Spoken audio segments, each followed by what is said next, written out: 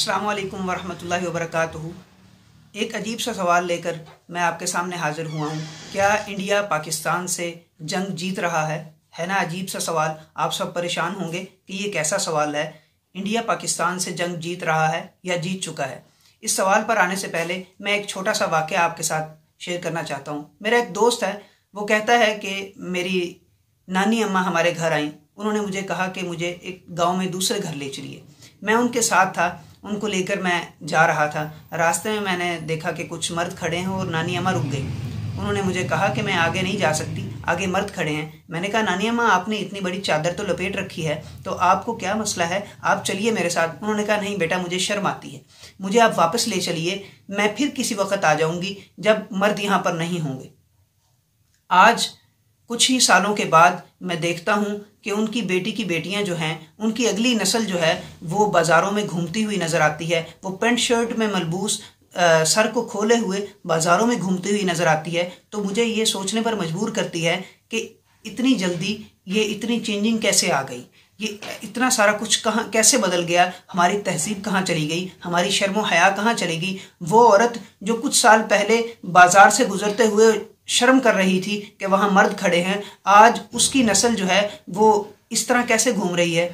اس چیز نے مجھے پریشان کیا۔ تو میں نے سوچا کہ معاشرے پر نظر ڈالوں کہ کیا کیا وہ کیا عناصر ہیں جو ہمارے معاشرے کو اس رخ پر لے کے جا رہے ہیں، اس سمت پر چلا رہے ہیں۔ تو بات کرتے ہیں جنگ کی۔ تو جنگ دو طرح کی ہوتی ہے۔ ایک ہتھیاروں کی جنگ ہے، آلات کی جنگ ہے، ایٹم بم کی جنگ ہے اور دوسری جو ہے وہ جنگ ہے کسی کی ثقافت کی جنگ۔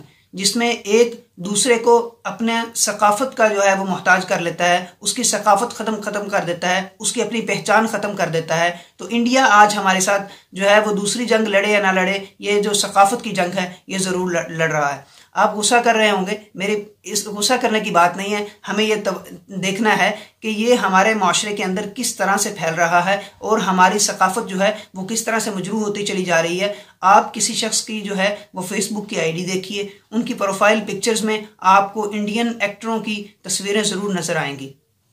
کسی سے پوچھا جائے کہ اسلام کے ہیرو کون سے ہیں، تو لوگ شاید دائیں بائیں شائیں کرنے لگیں۔ لیکن اگر کسی سے پوچھا جائے کہ ہیرو کون ہوتا ہے، تو وہ انڈین اداکاروں کے نام ضرور گنوائیں گے۔ آپ دیکھیے کہ ہر ایک شخص کو انڈیا میں موجود کسی نہ کسی ہیرو کو پسند کرنا عام بات ہے۔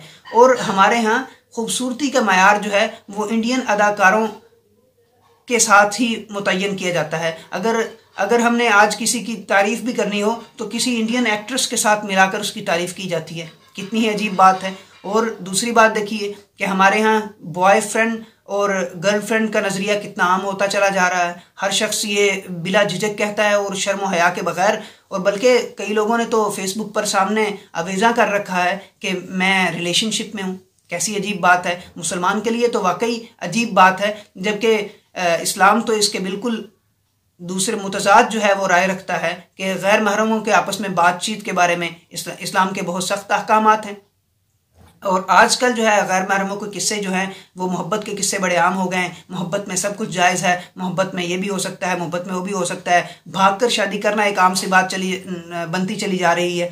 آپ دیکھیے ارینج میرج کا آہستہ آہستہ خاتمہ ہو رہا ہے اور اس میں یہ ہے کہ پہلے دکھایا جا رہا ہے کہ دیکھیے ساس کتنی ظالم ہے، یہ بہو کے ساتھ کتنا ظلم ہو رہا ہے۔ اور یہ دیکھیے انہوں نے پہلے ایک دوسرے کو نہیں جانا، اب یہ مسئلے ان کے لیے بن گئے ہیں۔ لہٰذا شادی سے پہلے ایک دوسرے کو جاننا ضروری ہے۔ اگر لیونگ بھی ایک دوسرے کے ساتھ پہلے رہا جائے، ایک دوسرے کو جانا جائے، تو وہ کتنا اچھا ہے؟ یہ بہت ہی عجیب بات ہے کہ پاکستان میں بھی یہ رواج دن بدن بڑھتا چلا جا رہا ہے۔ اور پھر اس کو ہر قسم کی پذیرائی مل رہی ہے۔ اگر ہمارے بڑے جو ہیں، سیاستدان جو ہیں، وہ کسی چیز کا افتتاح کرتے ہیں، کسی مال کو کھولتے ہیں، کسی بڑے پروجیکٹ کا افتتاح کرتے ہیں، تو وہاں پر انڈین ایکٹر کو بلا لیا، پاکستانی ایکٹرس کو بلا لیا۔ تو اس طرح لوگوں کے اندر ایک یہ چیز پیدا ہو رہی ہے کہ اگر آپ آپ کو عزت چاہیے، آپ کو تکریم چاہیے، آپ کو پیسہ چاہیے، آپ کو فیم چاہیے، تو آپ کو یہ بننا پڑے گا۔ آپ کو ان کے طریقہ کار کے مطابق چلنا پڑے گا۔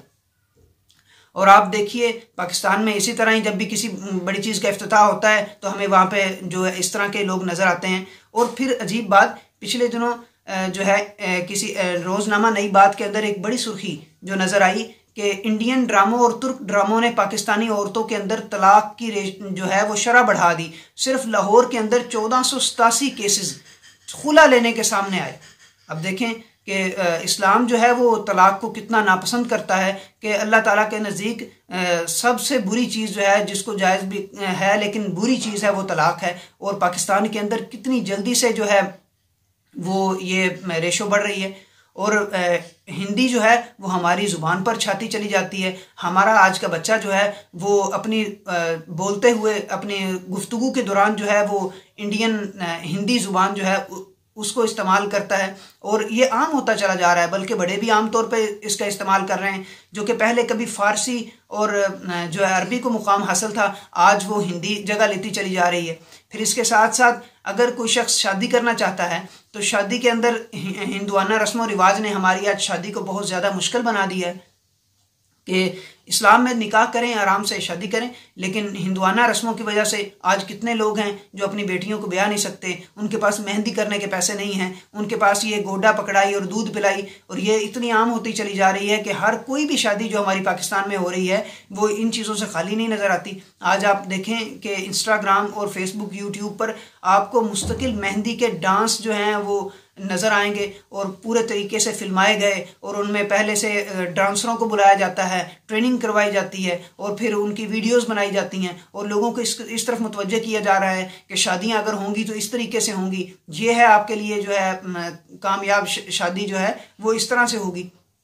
تو ہمارے دن بدن جو ہے وہ، اس طرف کو لوگ جا رہے ہیں، گوڈا پکڑائی اور دودھ پلائی کی رسمیں ہر شادی میں ہو رہی ہیں۔ مہندی جو ہے وہ اس کو بہت زیادہ ضروری قرار دے دیا آج کوئی عورت جو ہے وہ یہ اس چیز پہ راضی ہے کہ میں شادی نہیں کروں گی، لیکن رسم و رواج کے بغیر شادی ان کو قبول نہیں ہے۔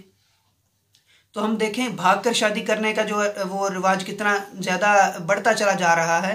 تو یہ ساری چیزیں، اور پھر اس سے بڑھ کر ایک عجیب سی بات کہ پورن سٹاروں کو عام عوام کے اندر جو ہے وہ عزت کا مقام دیا جا رہا ہے کہ لوگوں کو اگر عزت چاہیے تو ہر اس طرح کے بھی لوگ چلیں گے۔ عزت کے لیے اس طرح کی شرم و ہے اضافات اگر حیا فسنا معاشیتا جب حیائی باقی نہیں رہی تو پھر جو مرضی کرتے پھرو۔